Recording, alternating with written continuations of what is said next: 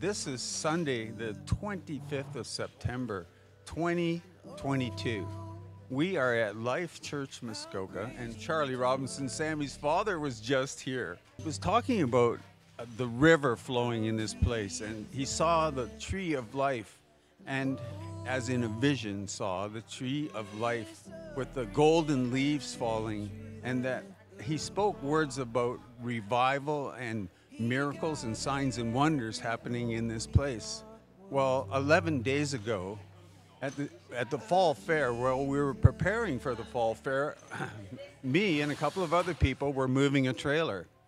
And the trailer uh, stopped abruptly. I stopped abruptly, and it landed on my foot, the reach of the trailer. And it was a, a significant impact.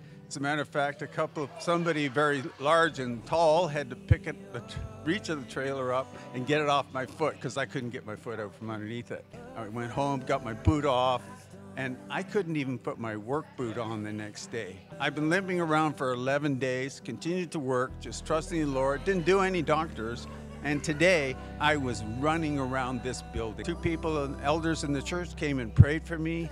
And instantly I started running around this building. No pain, completely healed, set free. And I thank you for, in Jesus' name, that I can actually jump on that foot now. Hallelujah. Thank you, Jesus.